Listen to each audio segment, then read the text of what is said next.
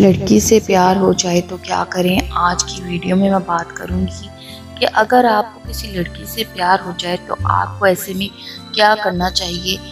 यानी ऐसा क्या करें कि लड़की को ये फील हो कि आप उसे प्यार करते हैं? अक्सर का जब कोई लड़का किसी लड़की को चाहने लगता है, अपने प्यार का इजहार करना चाहता है तो उसे समझ नहीं आ रहा था कि वो अपने प्यार का इजहार किस तरीके से करे।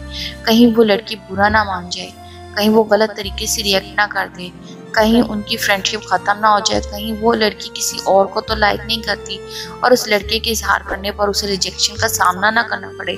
तो इस तरह के बहुत सारे सवाल जो हैं ना उनके दिमाग में घूम रहे होते हैं। तो यहाँ मैं आपको कुछ ऐसी आसान टिप्स शेयर करने वाली हूँ। अगर आप उन्हें ध्यान में रख कर स्टेप बाय स्टेप फॉलो करते हो तो हंड्रेड परसेंट कामयाब हो जाओगे और लड़की को अपने प्यार में पटाने में इससे अपने प्यार का इजहार करने में लिहाजा इन तरीकों को जानने के लिए वीडियो को लास्ट तक देखिएगा। वीडियो में आगे बढ़ने से पहले मैं बता दूँ, ये वीडियो खास एजुकेशन पर्पज़ के लिए है तो प्राय मेहरबानी, इसका कोई गलत मतलब ना लिया जाए।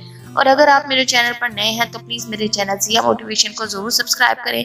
वीडियो को लाइक और शेयर करें और बेल आइकन को ज़रूर दबाएँ, ताकि हमारी लेटेस्ट वीडियो का नोटिफिकेशन आपको बर वक्त मिल सके। तो चलिए वीडियो को स्टार्ट करते हैं। नंबर एक लड़की को अपने प्यार में लाने के लिए आपको उसके साथ खुश इखलाकी और प्यार भरे लहजे में बात करनी है। और ये जानने की कोशिश करनी है कि वो किसी और को लाइक तो नहीं करती, या उसकी लाइफ में कोई और लड़का तो नहीं।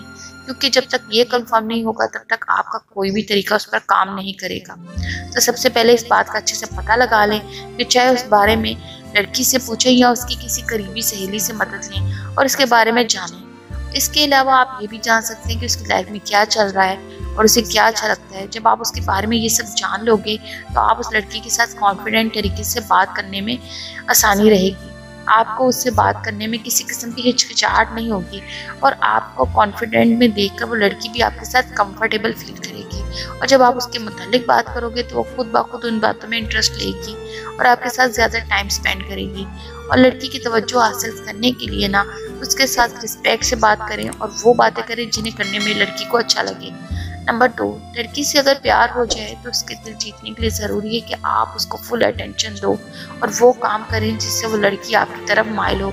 उसे अपने प्यार में लाने के लिए उसकी तारीफ़ करें, दिल में प्यार की अट्रैक्शन को बढ़ाने के लिए कोई प्यार भरा जुमला बोलें कि जब वो अकेले में हो तो बार बार उसके बारे में सोचे और उसे सुनकर अच्छा लगे।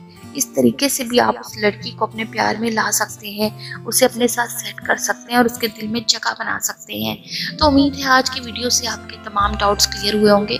वीडियो पसंद आ रही हो तो प्लीज़ लाइक शेयर कमेंट लाजमी करें। चैनल को सब्सक्राइब करें और पेज को लाइक और शेयर करके हमें सपोर्ट करें। शुक्रिया।